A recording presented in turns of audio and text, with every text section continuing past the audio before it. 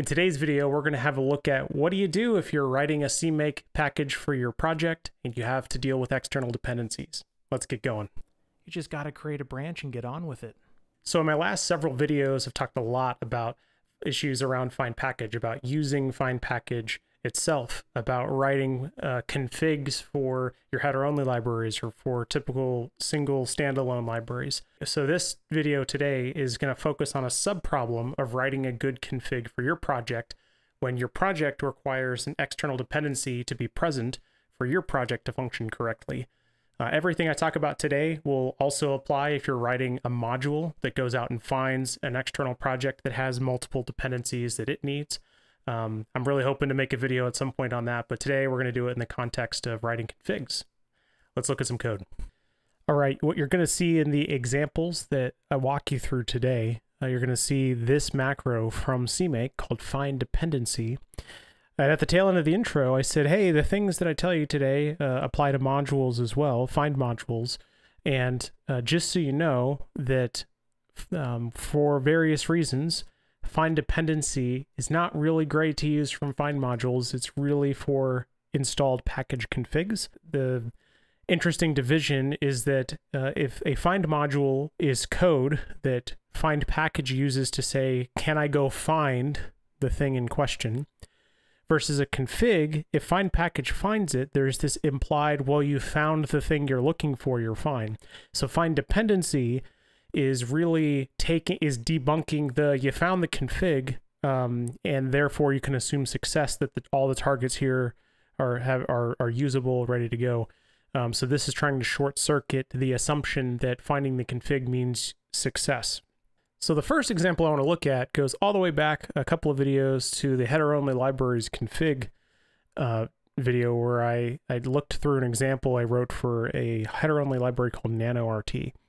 So the interesting thing I want to say here is that uh, there are multiple ways you can write a config. It's ultimately up to you to decide how your config works, how your uh, if you're writing a module, of course, how your module works.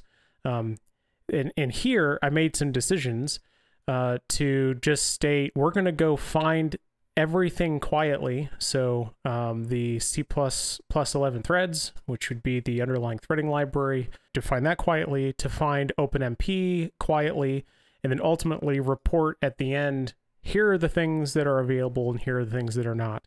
That's one strategy. Uh, another strategy would be to make each one of these uh, sub-targets, the, the OpenMP sub-target, thread sub-target, to make those components.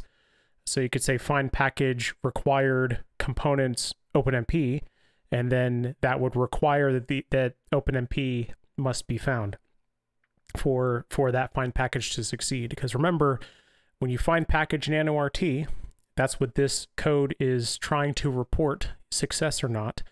And uh, using components as a way to kind of subdivide that to say, hey, what do you actually state is required versus not?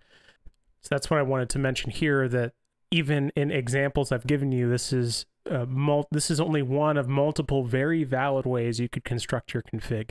So for for this next example, I want to talk through OSPRay, which is uh, a project I worked on for five-ish years uh, when I was at Intel. Um, I now work for NVIDIA, uh, for all any of you that care. Uh, but when I used to work at Intel and used to work on OSPRay, um, this config file was something I maintained for years and it's it does a lot but the fundamentals of what it's doing are the same things that were talked about in previous videos which with much smaller projects like uh, that rk common project for my last video. Um, so know that we're still solving the same problem but OSPRay has a lot of dependencies that it needs to function correctly. And so what i want to talk through is um, at least some of the strategies that OSPRay takes to uh, make packaging easier to make it easier to um, to distribute OSPRay and all of its dependencies. Um, these this isn't the only way to do it, but there are some sound principles uh, that make this a successful option uh, for this particular config.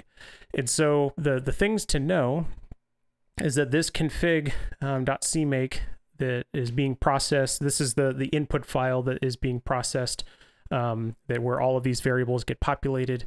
Um, it's, it's fairly big. OSPRay has a lot of options in it.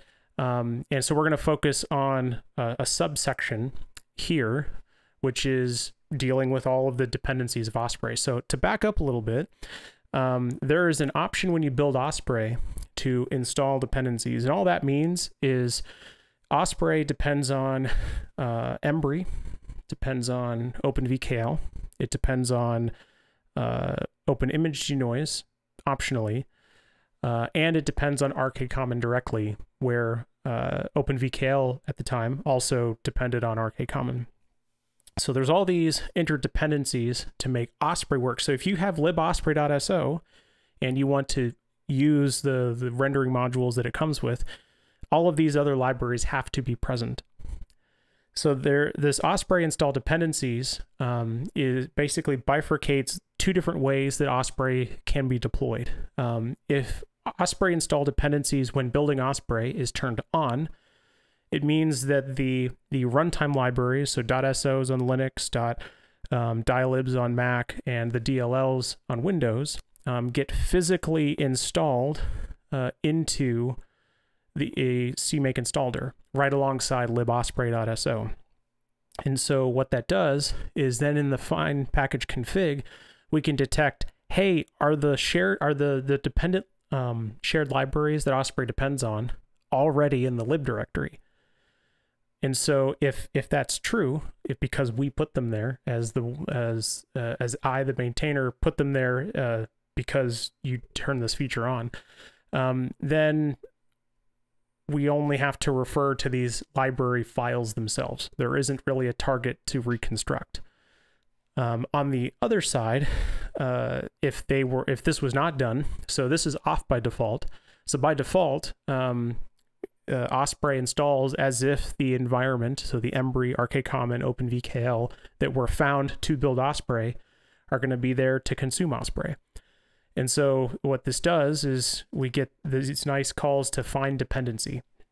Now, some of these other targets have kind of more complex macros to do some feature testing and and things because like Embree and VKL like export like what ICEs they were built with and stuff for different instruction sets. So there's fancy things that those configs are exporting that get validated here with OSPRay, but the easy one here is RK Common.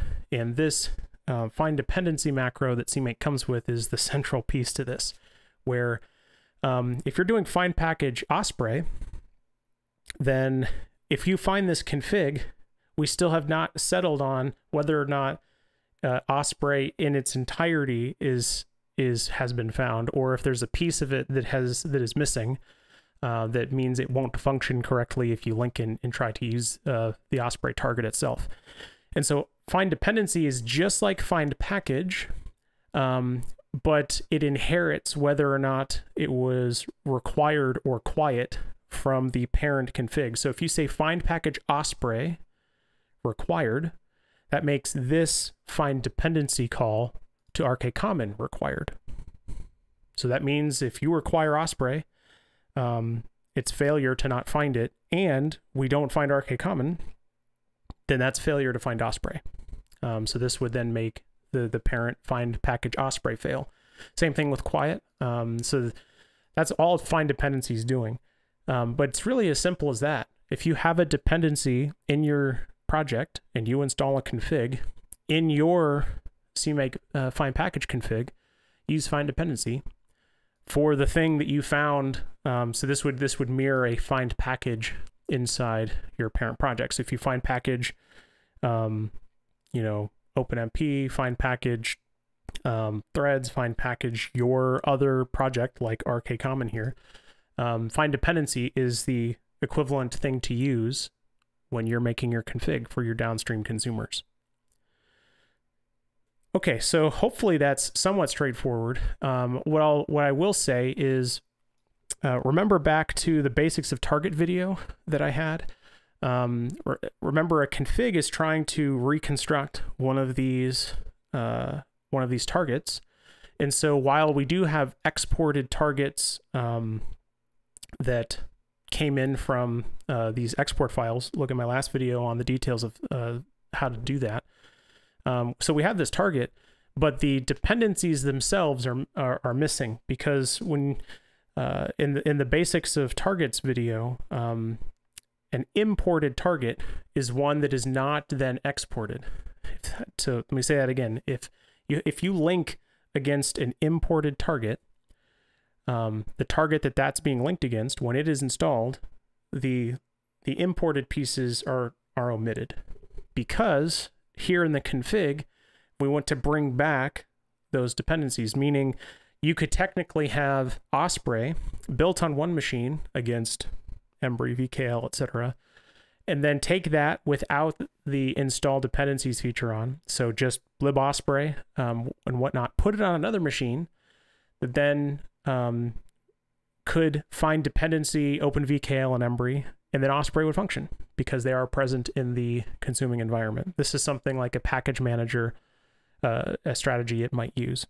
But at the end of the day, what we do, uh, or what what OSPRay does here, um, is take these proper these these targets um, that got installed, they got exported. Um, it tacks on to the link libraries property the things above that just got found. So it doesn't matter if if you're using if you did OSPRay install dependencies and we're using the raw library files themselves. Um, so like libembree.so was installed alongside libospray.so. Um, it doesn't matter if you did that raw file linkage or are linking to a target that was found with find dependency. Down here, we uh, th this gets tacked on to uh, the interface link libraries of the target you want to actually finally export. So that's a lot to follow. I, I, get it. It's uh, the the the point being, remember the goal is this config is making sure that the targets that become available after this has been found are fully usable. So when you link OSPRay colon colon OSPRay, all the libraries and other properties associated with it are correct. Uh, if you want to link the ISPC module directly, um, you have OSPRay and all the other libraries correctly handled. So that's it for today. A little bit shorter of a video than normal, but I really hope that this provides a little bit of clarity to what do you do when you have a project that has external dependencies, you install a config, and then need to satisfy those dependencies for your users downstream. Got any questions, comments, or concerns, or even ideas for how you're doing this in your CMake project, leave a comment down below. It's fun to read them. It's fun to engage with others who want to get better at their CMake, at their programming skills, and uh, all of your, your thoughts really help me get better as well. If you enjoyed today's video, please consider hitting that like button and subscribing to my channel. And until next time, happy coding, everyone.